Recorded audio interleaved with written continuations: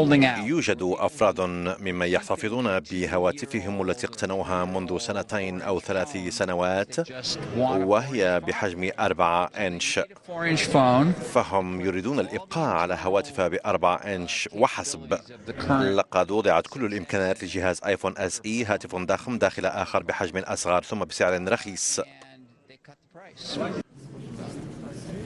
أبل تخطط لتوسعة نطاق استخدام خدمة الدفع الإلكتروني التابعة لها أبل باي على المواقع التي يتم فتحها عبر أجهزتها المحمولة. أوبر الأمريكية صاحبة تطبيق طلب سيارة الأجرة عبر الهواتف الذكية تتهم منافستها الهندية أولاكاب تتهمها باستخدام وسائل غير مهنية من أجل ضرب صورة أوبر لدى الزبائن. أوبر رفعت دعوى ضد أولاكا في محكمة نيو ديلهي متهمة إياها باللجوء إلى ممارسات منافية لقواعد المنافسة. أوبر تتهم منافستها بإنشاء حسابات وهمية عبر تزوير الأرقام.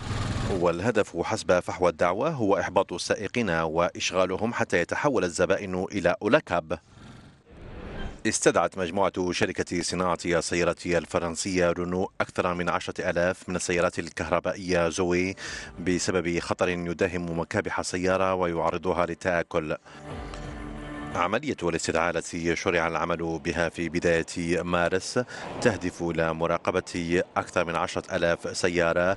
صنعت في نهاية 2012 وبداية أكتوبر من العام 2014 بسبب مخاوف دعت إلى التحقق من وجود أخطار للقناة الموصلة ما بين درع المحرك وتوقف العجلات. بنك كريدي سويس الثاني أكبر البنوك السويسرية أعلن تكثيف إجراءات خفض في التكاليف بإنهاء ألفي وظيفة في أعماله بالأسواق الدولية من أجل تحسين القدرة على مواجهة الظروف الصعبة في السوق. أما الرئيس التنفيذي للبنك تيجان تيام والذي شرع في مهامه قبل ستة أشهر فقد استلم مليون وسبعمائة وعشرة ألاف فرنك سويسري فضلا عن مكافأة تقدر بمليونين وثمانمائة وستين ألف فرنك سويسري. وقد طلب بتخفيضها حتى 40%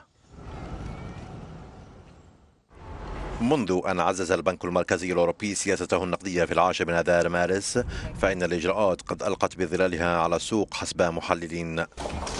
ويرى المسؤولون أن الإجراء سيكون سدا منيعا تجاه تراجع معدل التضخم بشكل مستمر والضغوط المؤدية لانكماش الأسعار فضلا عن تباطؤ معدلات النمو. وأوضح المركزي الأوروبي أنه سيزيد من شراء سندات الديون عبر شراء يتراوح ما بين 20 مليار يورو وحتى 80 مليار يورو ابتداء من نيسان أبريل.